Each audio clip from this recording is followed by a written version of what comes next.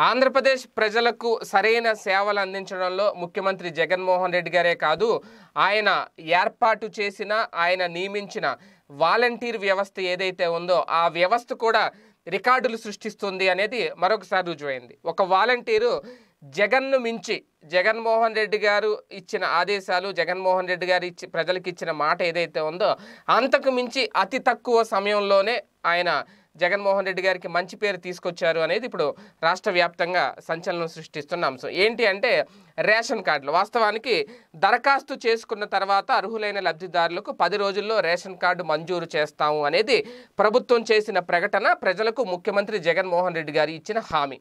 కానీ తూర్పుగోదావరి జిల్లా ఆలమూరు మండలం మడికి గ్రామానికి చెందిన సిహెచ్ శివరామకృష్ణ అనే వాలంటీరు జగన్మోహన్ రెడ్డి గారు పది రోజులకి రేషన్ కార్డు ఇస్తాము అని హామీ ఇస్తే ఈ వాలంటీర్ మాత్రం కేవలం ఒక్క రోజులోనే రేషన్ కార్డు ఇప్పించి రికార్డు సృష్టించాడు. నిజంగా రాష్ట్ర వ్యాప్తంగా ద బెస్ట్ వాలంటీర్ అనిపించుకున్నారు సిహెచ్ శివరామకృష్ణ. ఆలమూరు మండలం మడికి గ్రామానికి చెందిన వాలంటీర్ అయిన వాస్తవానికి అసలు ఏం జరిగింది? ఏంటి అంటే ఈ గ- మడికి పంచాయతీ సచివాలయం రెండు పరిధిలో నివాసం ఉంటున్న కుడుపూడి ఆంజనేయులు అలాగే వరలక్ష్మి దంపతులు. వీళ్ళిద్దరూ గత ప్రభుత్వ హయాంలో తెలుగుదేశం పార్టీ హయాంలో రేషన్ కార్డు కోసం దరఖాస్తు చేసుకున్నారు.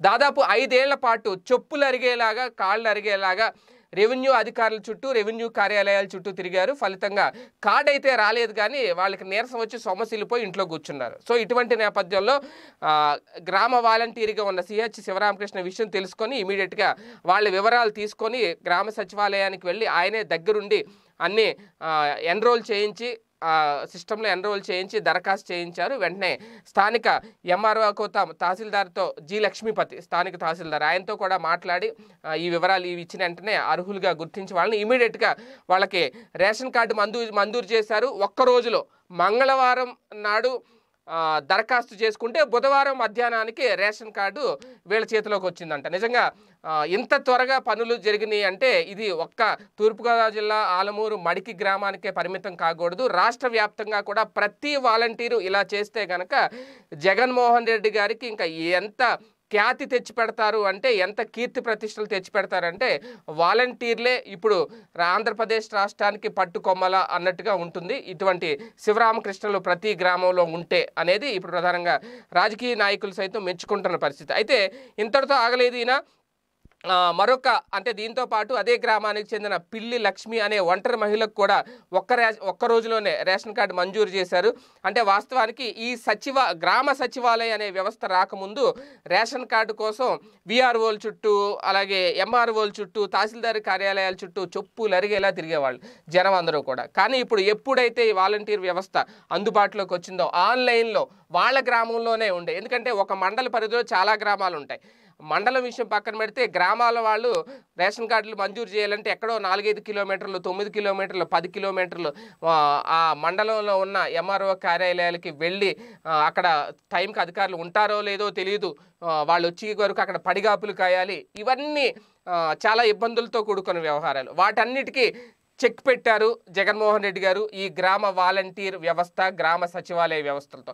ఇప్పుడు సొంత గ్రామాల్లోనే కేవలం వాళ్ళ గ్రామాల్లోనే గ్రామ సచివాలయం వచ్చేసింది కాబట్టి వీళ్ళ మండల ఆఫీసులకు వెళ్ళక్కర్లేదు. మండల పరిధిలో ఉన్న రెవెన్యూ కార్యాలయాల్లోకి కార్యాలయాల చుట్టూ తిరగాల్సిన అవసరం లేదు. గ్రామ సచివాలయానికి వెళ్తే చాలు. ఇంకా వెళ్ళలేని వాళ్ళు ఎవరైనా ఉంటే గ్రామ వాలంటీర్ని ఇంటికి పిలిపిస్తే వాళ్ళే వచ్చి దరఖాస్తు చేసి తీసుకెళ్ళి వాళ్ళ దరఖాస్తు కూడా గ్రామ సచివాలయంలో నమోదు చేస్తారు. ఇంత అద్భుతమైన వ్యవస్థను ఏర్పాటు చేశారు జగన్మోహన్ రెడ్డి గారు. ఆయన కళ సాకారం అయ్యింది ఎప్పుడో. మరొకసారి ఇప్పుడు ఈ వాలంటీర్ ద్వారా నిజంగా జగన్మోహన్ రెడ్డి గారి పరిపాలన ఎంత అత్యద్భుతమో మరొకసారి నిరూపించారు ఈ వాలంటీర్ శివరామకృష్ణ.